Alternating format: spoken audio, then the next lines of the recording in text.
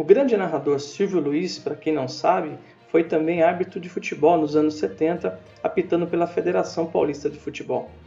O que eu trago nesse vídeo de hoje é o Silvio apitando um jogo no antigo Parque Antártica, estádio do Palmeiras, entre Portuguesa e Guarani de 1976. O jogo foi válido pelo torneio Governador do Estado, o jogo foi a final.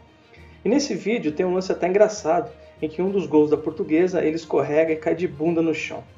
Bom, pessoal, confira o vídeo aí em que o Silvio larga o microfone e assume o apito.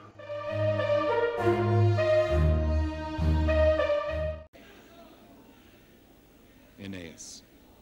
Olha que passe para de cá. Penetrou. Saiu o goleiro Sidney. Eudes, número 9. No rebote. Eudes contra o canto direito da meta guarnecida por Sidney. Decorridos 20 minutos e 20 segundos quando foi anotado o primeiro gol da portuguesa e da partida no estádio Palestra Itália. Enéas, na sua jogada característica, tentando penetrar da, da esquerda para o meio. Badeco recebendo. Penetrou Antônio Carlos, por trás de Deodoro, passou, é o segundo.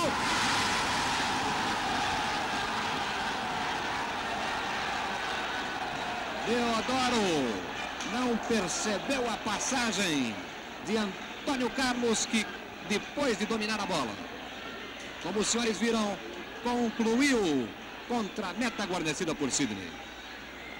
22 minutos da primeira etapa. Portuguesa 2. Antônio Carlos, o segundo gol. Camisa 7, 0 para o Guarani no estádio Palestra Itália.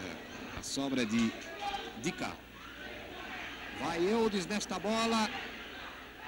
Boa jogada. Ainda Eudes. Tabela com Enéas. Dica. Antônio Carlos. Olha o terceiro. Dali. Enéas tocou. Bandeira já levantava. O goleiro é gol. Não valeu também.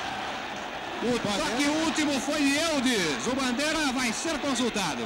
E ele anulou o lance, bandeira amarela. Antônio Carlos Santos Lupo. Jogadores da Portuguesa vão lá conversar com o Bandeira. O toque foi de Eudes. Sidney ainda tocou na bola, ajudando a tocar ainda mais. O balão contra o seu próprio gol. Cara, e hoje a partida está tumultuada, não? É, de fato, nosso time está muito bem. Você vê que estamos pressionando bastante o Guarani, porque dependemos daqueles gols. E você viu que saiu o gol agora, terceiro gol nosso. Valeu, Vamos gol! Confirma Silvio Luiz. Depois de consultar o seu bandeira Antônio Carlos Santos Lupo.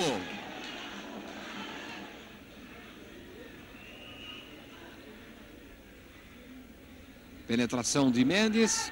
Já havia marcação, não? Valeu, passou. Antônio Carlos, valeu o gol!